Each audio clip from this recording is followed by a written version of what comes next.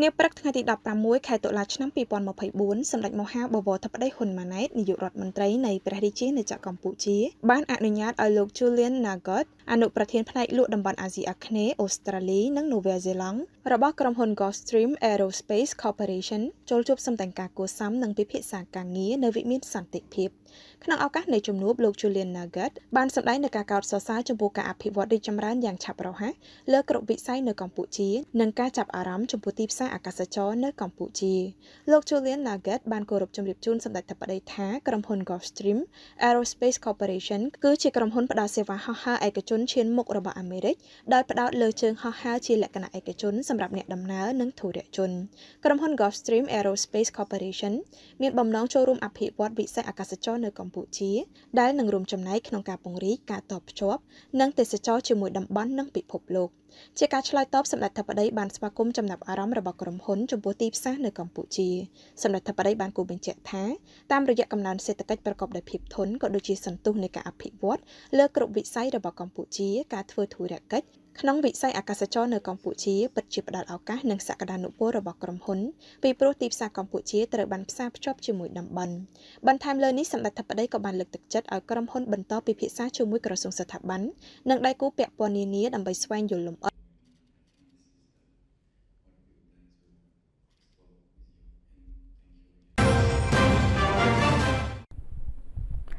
សម្ដេចមហាមន្ត្រីកុយសុផលអញ្ជើញនាំយកព្រះរាជទ្រព្យព្រះមហាក្សត្រនិងសម្ដេចព្រះមហាក្សត្រីប្រគល់ជូនឯកឧត្តមសេងទៀង។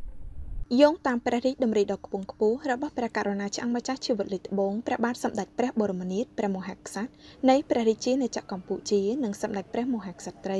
ព្រះវររាជមាតាជាតិខ្មែរជាទីសក្ការៈដ៏ខ្ពង់ខ្ពស់បំផុតសម្ដេចមហាមន្ត្រីគុយសុផលឧបនាយករដ្ឋមន្ត្រីរដ្ឋមន្ត្រីក្រសួងព្រះបរមរាជវាំងនិងជាឧត្តមប្រឹក្សាផ្ទាល់ព្រះមហាក្សត្រជាព្រះរាជតំណាងដ៏ខ្ពង់ខ្ពស់របស់ព្រះអង្គទាំងទ្វេបានរៀបចំពិធីប្រគល់ព្រះរាជទ្រព្យចំនួន10,000ដុល្លារអាមេរិក ដែលជាព្រះរាជទានដ៏ថ្លៃថ្លារបស់ព្រះករុណាឆ្អឹងម្ចាស់ជីវិតលេខត្បូងព្រះមហាក្សត្រនៃព្រះរាជាណាចក្រកម្ពុជានិងព្រះរាជទ្រព្យចំនួន10,000ដុល្លារអាមេរិកដែលជាព្រះរាជទានដ៏ឧត្តមឧត្តម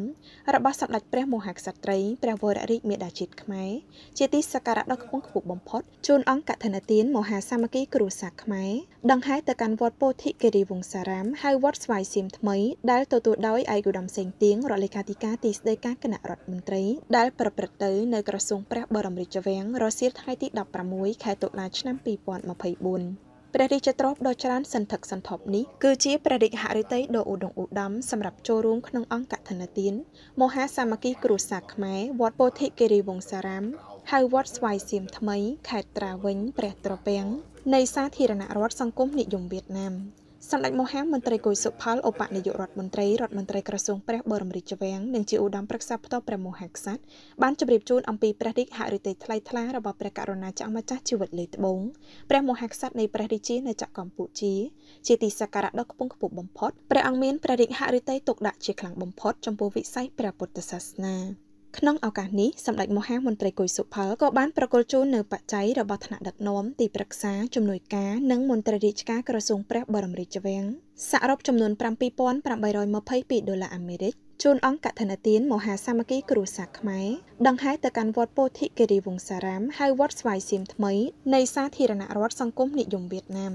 ឯកឧត្តមសេងទៀងក្នុងនាមសម្ដេចអគ្គមហាសេនាបតីតេជោហ៊ុនសែនប្រធានព្រឹទ្ធសភានៃព្រះរាជាណាចក្រកម្ពុជានិងសម្ដេចគតិព្រឹទ្ធបណ្ឌិតប៊ុនរ៉ានីហ៊ុនសែនមានសេចក្តីរំភើបរីករាយដោយឥតឧបមា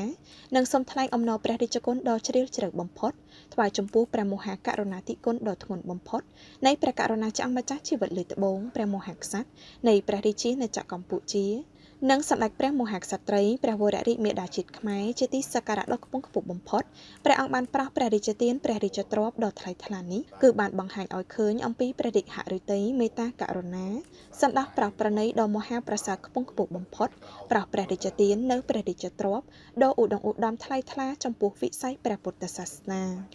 ឯកឧត្តមសេងទៀងបានថ្វាយព្រះសពសាធុការពរដល់បវរមហាប្រសើរថ្វាយព្រះករុណាចាស់ម្ចាស់ជីវិតលេខត្បូងព្រះមហាក្សត្រនៃព្រះរាជាណាចក្រកម្ពុជានិងសម្ដេចព្រះមហាក្សត្រីព្រះវររាជមេដាជាតិខ្មែរជាទីសក្ការៈដ៏ខ្ពង់ខ្ពស់បំផុតសូមព្រះអង្គបានប្រកបតែនឹងព្រះបរមសុខគ្រប់ប្រការព្រះរាជសុខុមាលភាពដ៏ល្អបរិបូរណ៍ព្រះកាយពលមមុននិងមានព្រះជន្មាយុយឺនយូរជាងរយព្រះវស្សាដើម្បីគង់ប្រថាប់នៅជាមហាមលុបដ៏ត្រជាក់សុខសាន្តសប្បុរសប្បាយដល់ព្រះរាជាណាចក្រកម្ពុជា និងបងប្អូនកូនចៅរបស់ព្រះអង្គជារៀងរហូតតទៅ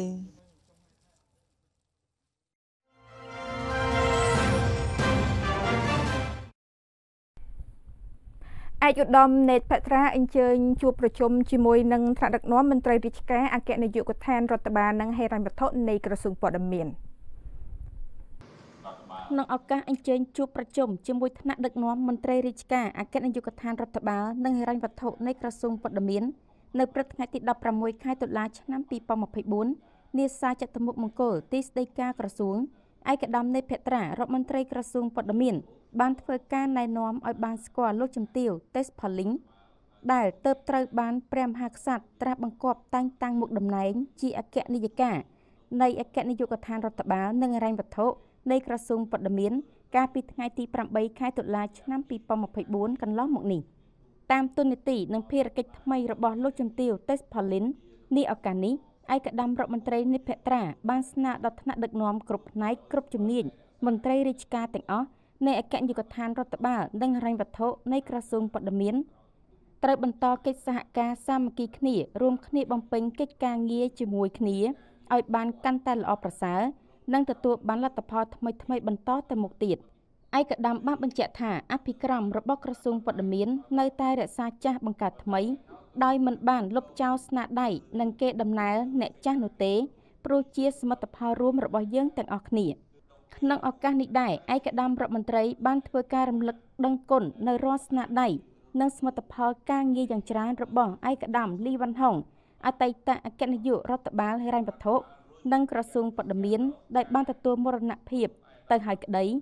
តែបានបន្សល់ទុកនៅអនុស្សាវរីយ៍ក្តីស្រឡាញ់រាប់អាននិងការជួយដល់ទុកធុរៈរបស់មន្ត្រីក្រមអាវ៉ាតពិសេសបានចូលរួមចំណែកក្នុងការធ្វើឲ្យក្រសួងព័ត៌មានមានការរីកចម្រើន មានកិច្ចសហការល្អជាមួយបណ្ដាប្រទេសនានាជាច្រើនឯកឧត្តមនៃភត្រាបានថ្លែងនៅការកោតសរសើរចំពោះកិច្ចខិតខំប្រឹងប្រែងបំពេញកិច្ចការងាររបស់ថ្នាក់ដឹកនាំមន្ត្រីរាជការទាំងអស់ នៃក្រសួងព័ត៌មាននៅក្នុងរយៈពេលជាមួយឆ្នាំនៃអាណត្តិទី7នេះហើយក្នុងនោះអគ្គនាយកដ្ឋានរដ្ឋបាលនិងហិរញ្ញវត្ថុបានពង្រឹងនិងអនុវត្តរាល់ភារកិច្ចនិងទូនាទីរបស់ខ្លួនបានយ៉ាងល្អជាក់ស្ដែងការទទួលចូលនិងចេញឯកសារក្រសួងព័ត៌មានទៅតាមក្រសួងស្ថាប័ននានាគឺមិនមានការបាត់ឬក៏ស្ទះឯកសារនោះទេ តាមរយៈច្រកចេញចូលតែមួយ ទន្ទឹមនេះការងារគ្រប់គ្រងធនធានមនុស្ស ដំកើងកម្មតាមសញ្ញាបត្រនឹងបានអនុវត្តទៅដោយរលូនហើយក៏កំពុងពិនិត្យវាតម្លៃដល់មេដៃដល់មន្ត្រីនិងថ្នាក់ដឹកនាំក្រសួងព័ត៌មានថែមទៀតផងដែរ។ឯកឧត្តមបានបញ្ជាក់ថាដំណើរការងាររដ្ឋបាលនិងហិរញ្ញវត្ថុគឺសំខាន់ណាស់នៅពេលខាងមុខទៀតគឺជាអ្នកត្រួតត្រងលើដំណើរប្រព្រឹត្តទៅធម្មតារបស់ក្រសួង បានមិនយកចិត្តទុកដាក់លើកិច្ចការងារនេះទេ ដំណើរការងាររបស់ក្រសួងទាំងមូល ក៏ពិបាកធ្វើនិងមិនមានការរីកចម្រើននៅក្នុងដំណើរទៅមុខកិច្ចការងាររដ្ឋបាលនិងហិរញ្ញវត្ថុគឺមានភាពចាំបាច់ដែលផ្ដោតជាសំខាន់ទៅលើការងារកំណែតម្រង់រដ្ឋបាលសាធារណៈ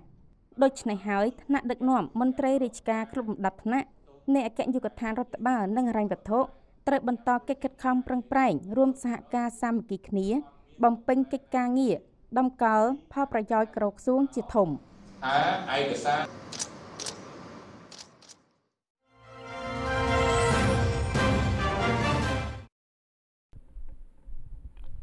ឯកឧត្តមនេតពេត្រាអញ្ជើញជួបពិភាក្សាការងារជាមួយនឹងប្រតិភូជប៉ុនដើម្បីពិនិត្យលទ្ធភាពក្នុងការពង្រឹងកិច្ចសហប្រតិបត្តិការរវាងក្រសួងព័ត៌មានទូរទស្សន៍ជាតិកម្ពុជា និងក្រុមហ៊ុនជប៉ុន PBS ឯកឧត្តមនៃភក្ត្រារដ្ឋមន្ត្រីក្រសួងព័ត៌មាន បានទទួលជួបពិភាក្សាការងារជាមួយប្រតិភូជប៉ុន ដែលដឹកនាំដោយលោកតាគូឈីមីតំណាងក្រុមហ៊ុន TBS Holding ជប៉ុន នៅព្រឹកថ្ងៃទី16ខែតុលាឆ្នាំ2024នីតិស្តីការក្រសួងព័ត៌មានដើម្បីពិនិត្យលទ្ធភាពក្នុងការពង្រឹងកិច្ចសហប្រតិបត្តិការរវាងក្រសួងព័ត៌មានទូរទស្សន៍ជាតិកម្ពុជា ជាមួយក្រុមហ៊ុន TBS ជប៉ុន ក្នុងការរៀបចំបណ្ណសារឯកសារអេឡិចត្រូនិក Data Center សម្រាប់រក្សាទុកឯកសារចាស់ៗរបស់ក្រសួងព័ត៌មានពិសេសទូរទស្សន៍ជាតិកម្ពុជាឲ្យបានល្អ ឯកយុដមរដ្ឋមន្ត្រីនេតភត្រាមានប្រសាសន៍រំលឹកឡើងវិញថា ស្ថានីយ៍ទូរទស្សន៍ជាតិកម្ពុជាតតកជាអំណោយដ៏ថ្លៃថ្លារបស់រាជរដ្ឋាភិបាលជប៉ុន ផ្ដល់មកឲ្យរដ្ឋាភិបាលកម្ពុជា តាំងពីឆ្នាំ1998មកហើយអាគារម៉ាស៊ីនផ្សាយនិងរាល់សម្ភារៈបរិក្ខារបច្ចេកទេសទាំងអស់នៅទូរទស្សន៍ជាតិបានប្រតិបត្តិការប្រើប្រាស់គឺជាអំណោយរបស់ជប៉ុន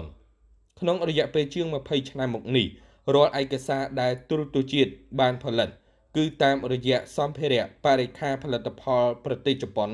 ហើយរហូតមកដល់ពេលនេះម៉ាស៊ីនផ្សាយនិងសម្ភារៈប្រើប្រាស់ទាំងនោះចាស់ចាស់ហួសសម័យកាលទៅហើយ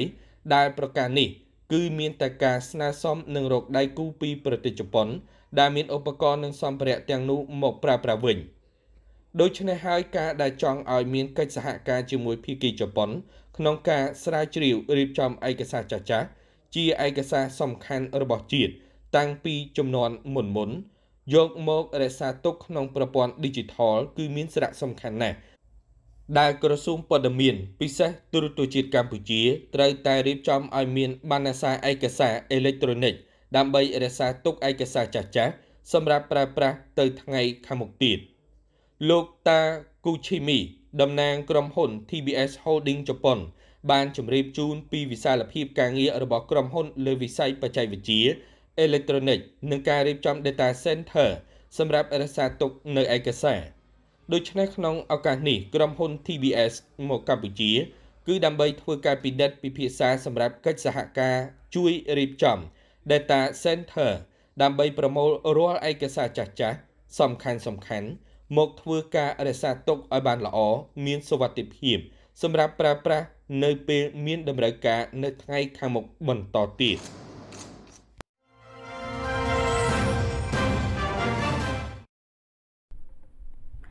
រដ្ឋមន្ត្រីទេសចរនៃរដ្ឋឧត្តរប្រទេសសាធារណរដ្ឋឥណ្ឌាជំរុញឲ្យកម្ពុជាឥណ្ឌាពង្រឹងកិច្ចសហប្រតិបត្តិការទេសចរពុទ្ធសាសនា ថ្លែងនៅក្នុងជំនួបជាមួយប្រតិភូកម្ពុជាដែលកំពុងបំពេញទស្សនកិច្ចនៅប្រទេសឥណ្ឌាឯកឧត្តមជ័យវិសិងរដ្ឋមន្ត្រីទេសចរនិងវប្បធម៌នៃរដ្ឋឧត្តរប្រទេសអូតាប្រទេសបានស្នើឲ្យកម្ពុជាចូលរួមពង្រឹងកិច្ចសហប្រតិបត្តិការទេសចរជាពិសេសទេសចរតាមបែបពុទ្ធសាសនា។ថ្លែងនៅក្នុងជំនួបជាមួយប្រតិភូកម្ពុជាដែលមានសមាជិក20នាក់មកពីទីភ្នាក់ងារទេសចរនិងប្រព័ន្ធផ្សព្វផ្សាយឯកឧត្តមចៃវិសិង និងក្រុមមន្ត្រីរបស់លោក បានធ្វើបទបង្ហាញអំពីរដ្ឋឧត្តរប្រទេសសាធារណរដ្ឋឥណ្ឌាដែលជាគោលដៅទេសចរពុទ្ធសាសនាធំ និងមានប្រជាប្រិយភាពជាងគេក្នុងពិភពលោកដោយសារតែរដ្ឋនេះមានទីតាំងជាច្រើនដែលពាក់ព័ន្ធនឹងពុទ្ធប្រវត្តិជាក់ស្ដែងកន្លងមកមានប្រជាជនកម្ពុជាជាច្រើនដែលបានធ្វើដំណើរទេសចរធម្មយាត្រាមកពីទីតាំងផ្សេងផ្សេងដែលជាប់ពាក់ព័ន្ធនឹងពុទ្ធសាសនា មានវត្តចេតពុន ដែលព្រះពុទ្ធអង្គទ្រង់គង់កាលនៅមានព្រះជន្មជាដើមឯកឧត្តមសង្ឃឹមជឿជាក់ថាដំណើរទស្សនកិច្ចនេះនឹងនាំឲ្យមានការផ្លាស់ប្ដូរភ្ញៀវទេសចរឲ្យកាន់តែច្រើនរវាងឥណ្ឌានិងកម្ពុជា ក្នុងវិស័យទេសចរសាសនាដែលប្រជាជាតិទាំងពីរអាចទទួលបានផលប្រយោជន៍ទៅវិញទៅមកពីសម្បត្តិបព្វធម៌ដ៏សម្បូរបែបពីគ្នាទៅវិញទៅមកឯកឧត្តមបានបញ្ជាក់ពីសេចក្តីបដិញ្ញាចិត្តរបស់រាជរដ្ឋាភិបាលឧត្តរប្រទេស ក្នុងការផ្ដល់ជំនួយទៅដល់បណ្ដាសហគ្រិនដែលមានបំណងចង់វិនិយោគលើវិស័យទេសចរនៅក្នុងរដ្ឋរបស់លោក មានការផ្ដល់សម្បទានដីធ្លីរហូតដល់99ឆ្នាំជាដើម។